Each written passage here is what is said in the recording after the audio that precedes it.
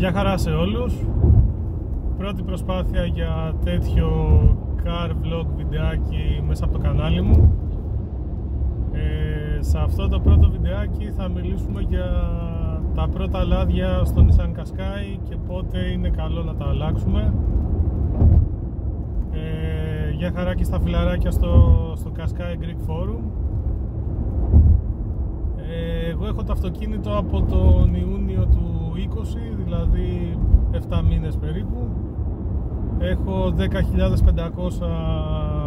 χιλιόμετρα. Είναι το diesel το 1.5 ο κινητήρας 1.5 DCI στα 116 άλογα.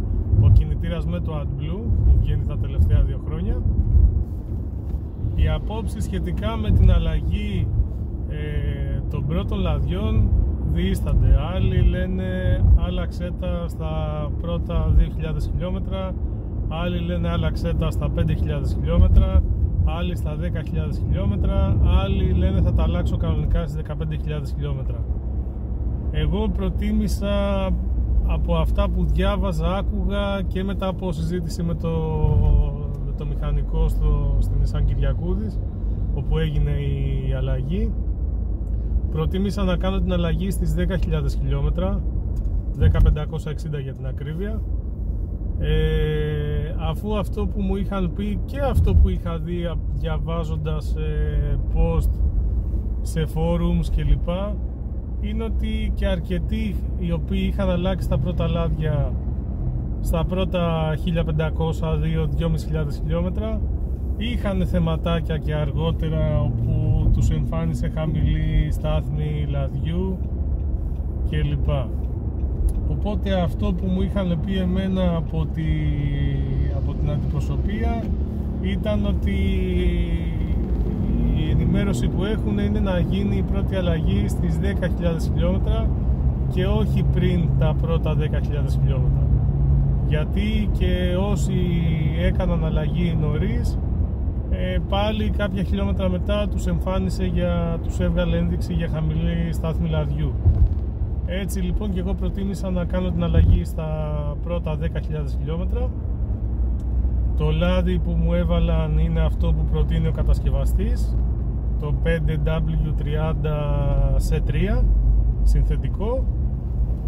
Ήταν το, το γνήσιο λάδι της Nissan Ελέγξαμε επίσης με διαγνωστικό το, τη στάθμη του AdBlue, το DPF, το DPF καθαρό.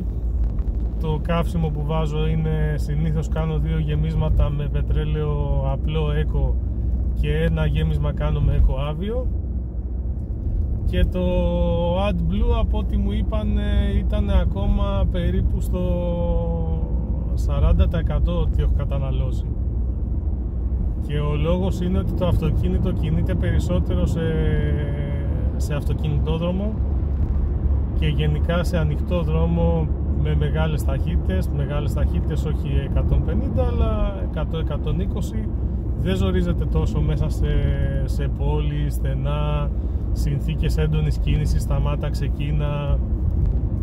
Κάτι το οποίο είναι απαγορευτικό για,